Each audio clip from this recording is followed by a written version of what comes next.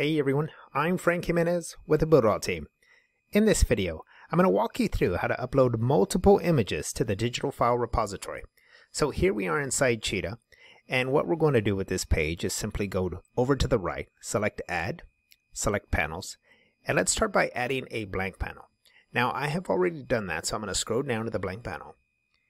And what I'm going to do here is I'm going to add an image element by going to Add, Elements, and then let's scroll down here and select image. Now I'm just going to select the very first image here, drag it into the panel. Next, what you want to do is just right click on the image so that the image properties come up.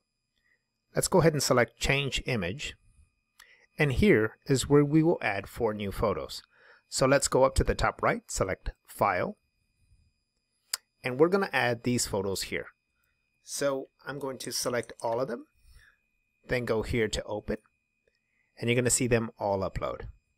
Now, all of these four have been uploaded to your digital file repository. Now let's take this image here and select it.